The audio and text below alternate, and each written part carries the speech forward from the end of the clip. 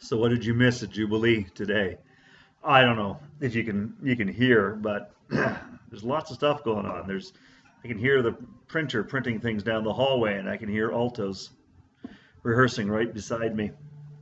They're rehearsing, getting ready for Christmas concerts and Christmas services, and and we're printing bulletins for upcoming events. And well, I, that's what we did today Jubilee. That's what what you missed. You, you missed us preparing for Christmas.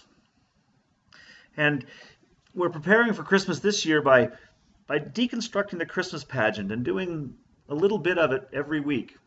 So this week we talked about Mary. I know it's not the Advent cycle that we're used to, but today we talked about Mary and we wondered what Mary's doing in the story. We wondered if we could do without Mary in the story, what that would be like. And so we had presented for us Luke's Gospel, and we had it presented by glorious little angels and, and, and, and wonderful actors as Mary and Joseph and, and, and Gabriel. And, and then people responded as we wondered together what is it that we think about with Mary?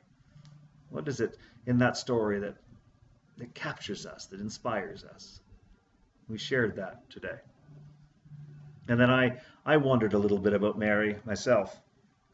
And I wondered about the words that she says or sings.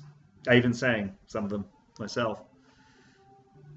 I wondered about what it's like to be startled into justice.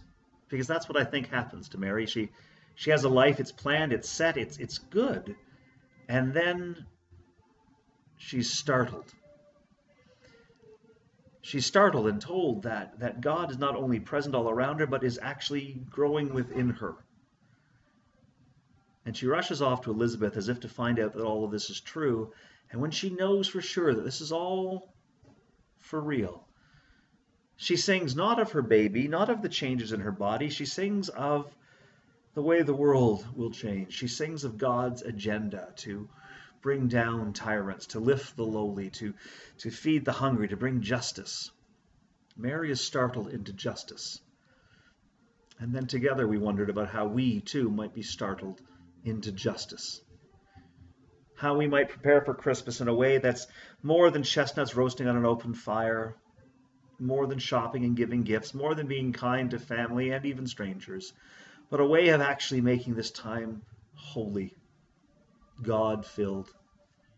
How might we be startled into justice? Not that there's anything wrong with the nostalgia and the wonderful traditions around our Christmas. We want that too. And yet, how can we make it more God filled than family filled? More God filled than Norm filled for me.